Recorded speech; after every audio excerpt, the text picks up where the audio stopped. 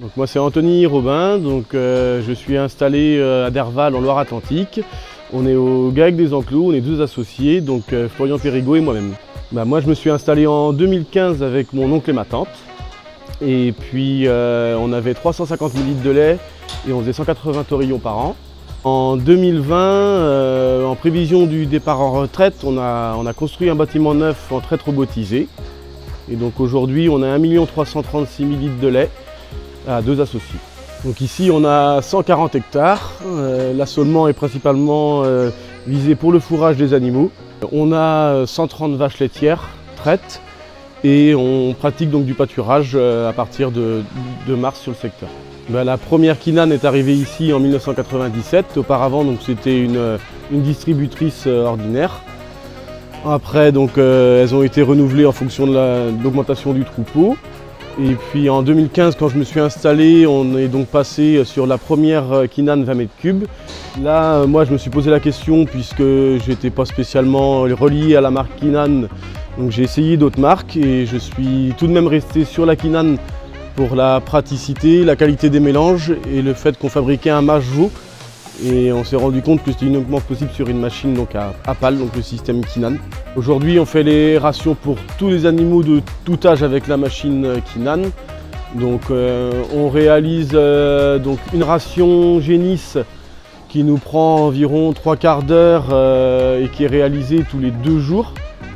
On réalise également une ration spéciale vache tari qui nous prend environ une vingtaine de minutes qui est également réalisée tous les deux jours. La ration, bien sûr, euh, vache laitière, qui là euh, nous prend environ 30-40 minutes.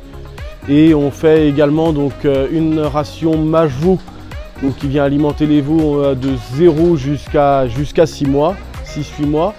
Aujourd'hui, la ration de base comporte principalement du maïs en silage, de l'ensilage d'herbe, mais également de la paille qu'on ne mettait pas avant pour augmenter la fibrosité de la ration.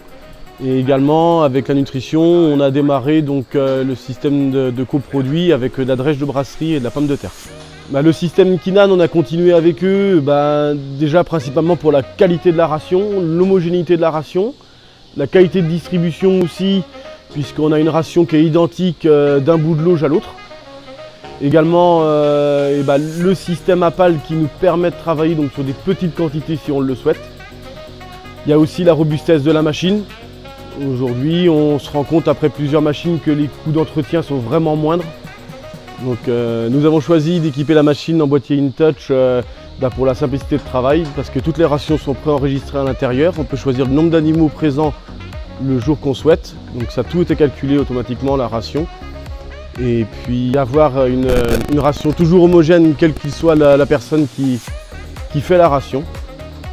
Donc ça nous a permis plus facilement de gérer les stocks euh, parce que grâce avec le, boîtier, il calcule toutes les, quantités qui sont mises dans la machine. Et donc on peut avoir, savoir ce qui reste donc dans les silos à l'instant T.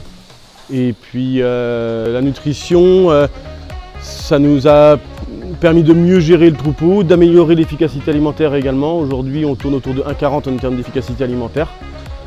À la base, en référant quantité de lait par vache, on était autour de 30 kg par vache. Aujourd'hui, on est entre 33 et 34 kg pour une ration qui n'est pas spécialement beaucoup plus coûteuse qu'auparavant.